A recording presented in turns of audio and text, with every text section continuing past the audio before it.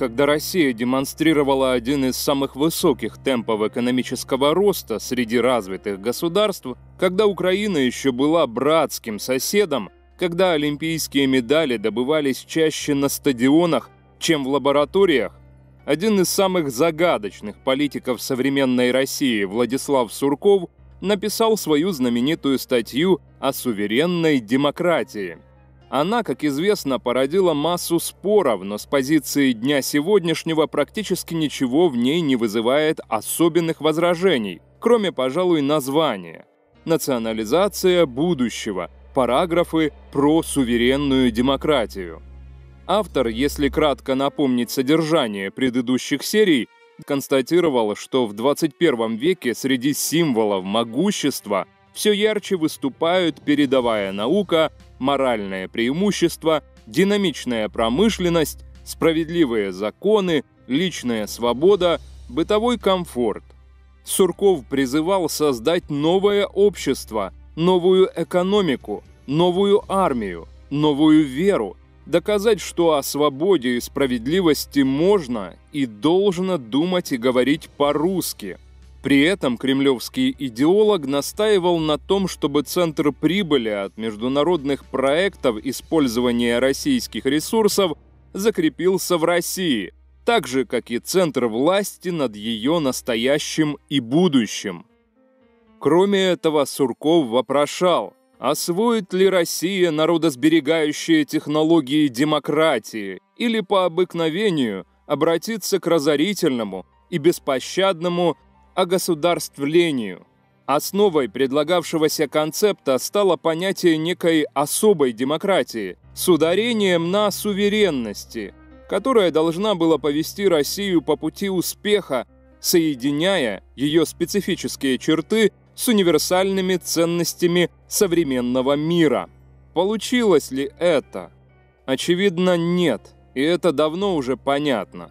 Моральное преимущество отражается в полной международной изоляции России после начала войны с наиболее исторически близким соседом – Крым был, есть и всегда будет российским. Там русский народ живет.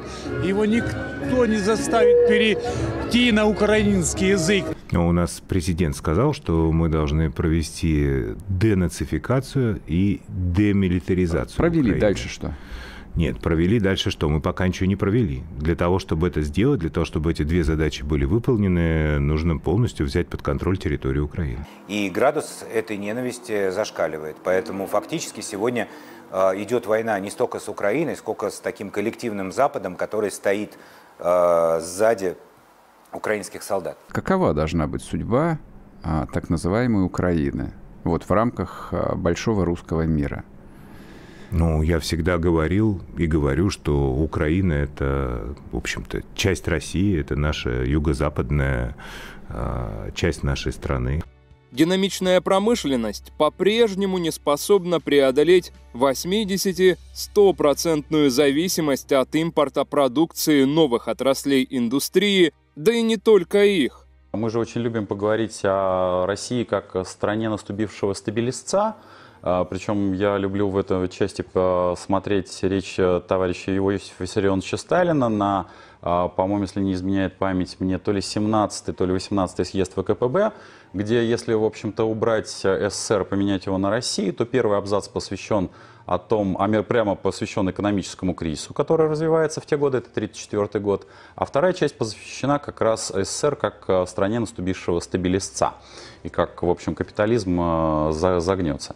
А теперь возвращаемся на нашу почву. Возьмем просто банальный анализ состояния там, того ВВП, о котором мы говорим, из чего он состоял там, 15 лет назад и сейчас.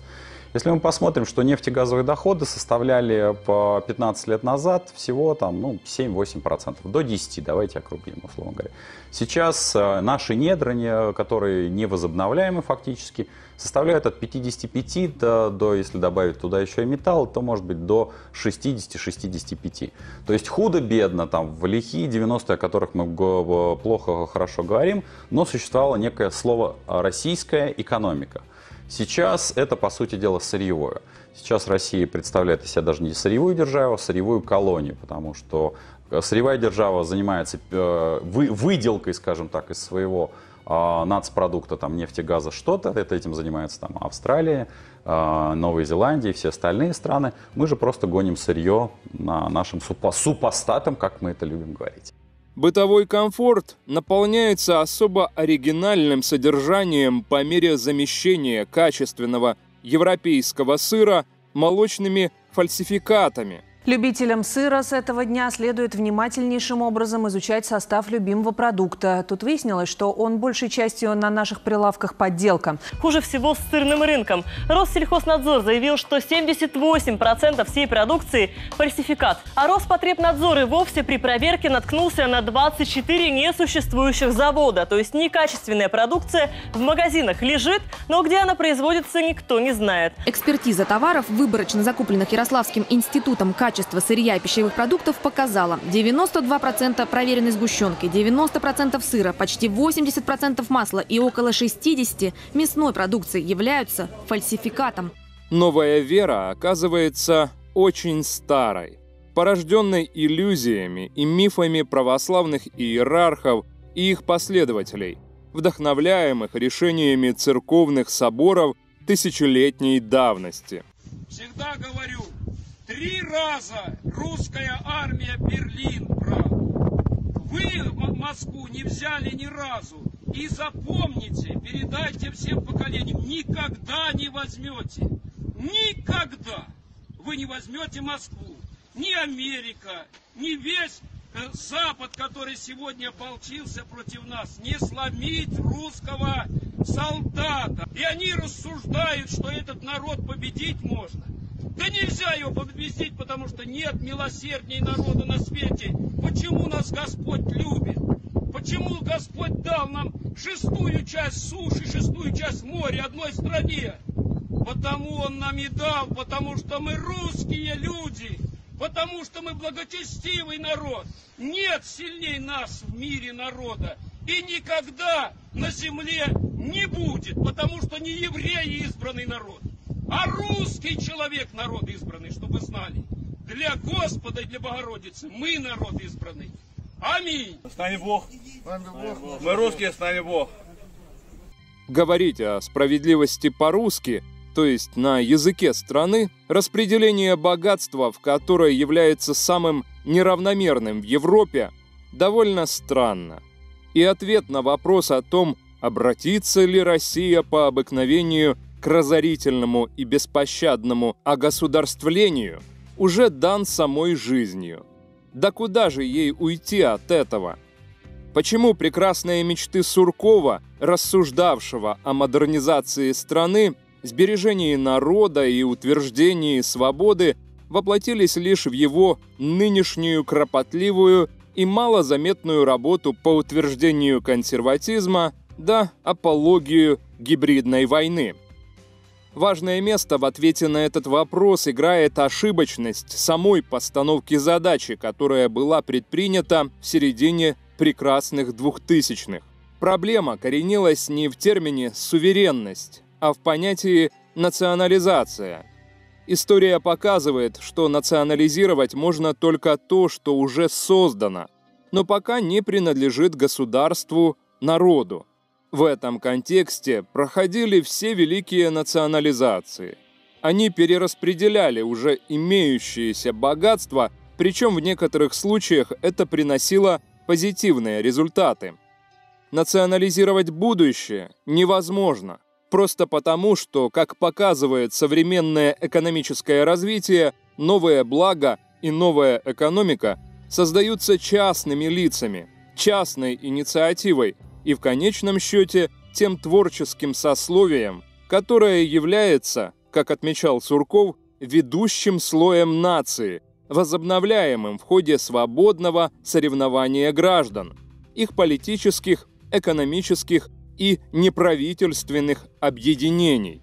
Единственным вариантом национализации будущего может стать тоталитарная диктатура – при которой каждый человек является не свободной личностью, а полной собственностью государства. Именно собственность власти на человека, как на создателя будущего, только и способна стать базой для его национализации. Это происходило в Советском Союзе, в сталинские времена, но было, как хорошо известно, несовместимо с любым сбережением народа, каждодневно оборачиваясь прямым убийством или доведением до смерти тысяч граждан страны. Нынешняя российская власть, к сожалению, не научилась ничего создавать. Она может только перераспределять и национализировать уже имеющиеся блага. В целях стабилизации отношений собственности и недопущения каких-либо возвратов к теме ее передела, считаю возможным поддержать предложение об уменьшении срока давности по приватизационным сделкам с 10 до 3 лет. Причем речь идет здесь о всех приватизационных сделках, совершенных и юридическими лицами, и гражданами Российской Федерации. Полагаю, что для граждан это особенно важно. Речь идет о миллионах наших граждан, которые в 90-е годы приватизировали квартиры. После такого сообщения гости заговорили с президентом легче и непринужденней. Представители бизнеса сетовали на административные трудности перемещения капитала, например, в соседнюю Украину, и корысть свою не скрывали. Вы имеете в виду э, открывающиеся возможности с, э, в связи с возможной деприватизацией и второй волной приватизации? Ну, э, применительно к Украине, да, у нас есть, у нас есть на самом деле действительно хищный интерес к этому. Я не стесняюсь этого слова, поскольку мы считаем, что для нас экономическое доминирование на в республиках СНГ самый такой разумный рациональный способ роста.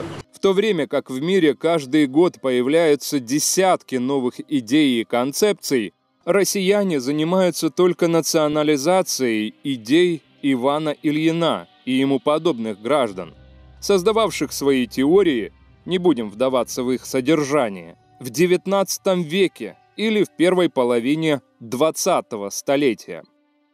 Бессмысленно надеяться на появление новой экономики из случения квазирелигиозных догматов и умозрительных концепций, давно отживших свой век. Но больше ничего подходящего для национализации под рукой нет и вряд ли появится, хотя бы потому, что современные знания создаются по законам Creative Commons – творческих сообществ и вряд ли могут быть кем-то присвоены. Иначе говоря, если в головах государственных лидеров нет других идей, кроме национализации, ее объектом может быть лишь прошлое – но никак не будущее. Вот э, слово национализация, она прямо заставляет схватиться за сердце э, многих. Но ничего, это ничего в этом страшного нет, потому что если, допустим, э, ну, самый банальный и смешной пример с Макдональдсом, продукты российские, здания находятся у нас, технологии все понятные тоже, так сказать, находятся в стране, что мешает делать под другой вывеской те же самые бургеры и картошку? Да ничего не мешает. И так будет со всем. А так будет с э, автомобильными предприятиями, которые локализованы на территории России, в случае, если их иностранные собственники сделают какой-то шаг из страны, да, они будут национализированы, будут выпускать э, те же самые Volkswagen, но мы назовем их как-нибудь по-другому, не знаю, Буратино. Вот, и поедем.